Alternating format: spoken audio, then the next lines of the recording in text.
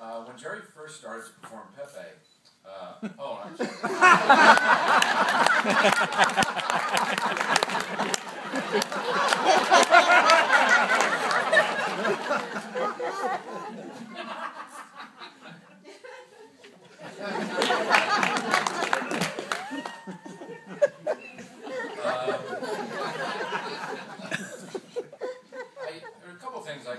I uh, think of when I think about Jerry. Um, I'm fortunate enough that I was able to uh, work with all of these amazing performers and people, uh, the Jim Henson Company, and uh, one thing that comes to mind is something I think that I learned from them, which is upstaging.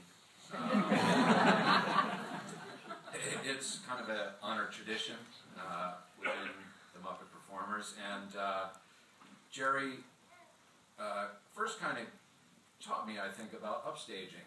Um, we were working on the first movie I got to do, which was Muppet Treasure Island, and I was so excited because I was going to get to work right next to him. I, I got to play one of the bad guys for Long John Silver along with Jerry. Jerry played Mad Monty, and I played a character named Clueless Morgan.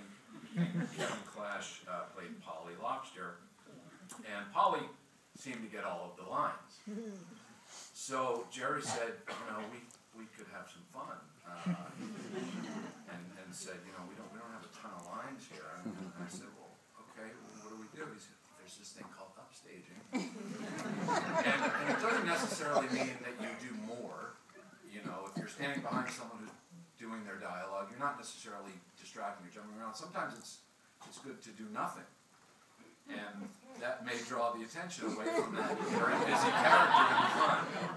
So if you uh, if you have a look at Treasure Island again, you may find uh, Monty and Clueless doing things they're not supposed to be doing, uh, or you may not have noticed before. And um, we just used to laugh a lot because we got to to do that. Um, I also uh, was able to perform for the first time directly with Jerry, and, and I was actually watching clip of Gobo playing the guitar, and, and uh, if you watch Gobo's hands, uh, it's it's pretty pretty amazing the way he plays the guitar, and it was funny. I could I actually could tell that that was Steve Whitmire, even though I wasn't there.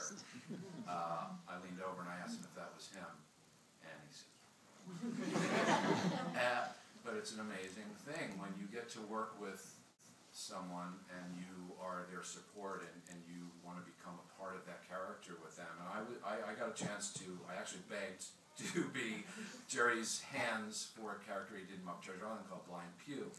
and, um, and I was asking a lot of questions. You know, I said, uh, you know, do, do, when do you want me to touch or hold this? And can I, and can I do that? And may I, can I try it? And he said, uh, do whatever you think.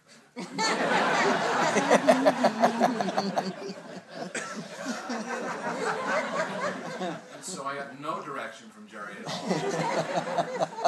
but I, I guess I know I just need to follow him because he was so amazing. And if I just listened to what he was doing, maybe I could figure out what to do.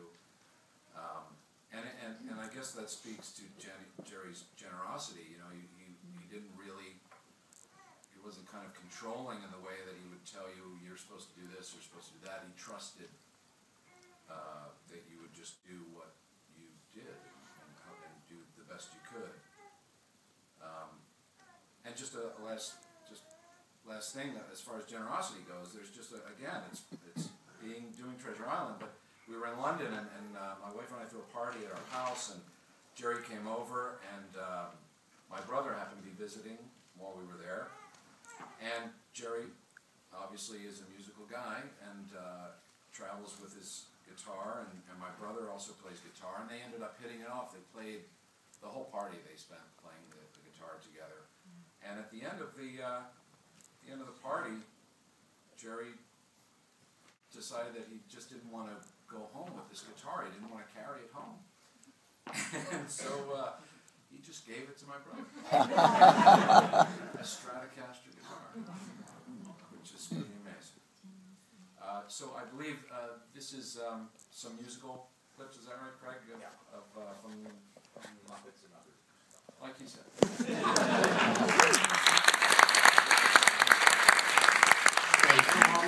Sir Robin,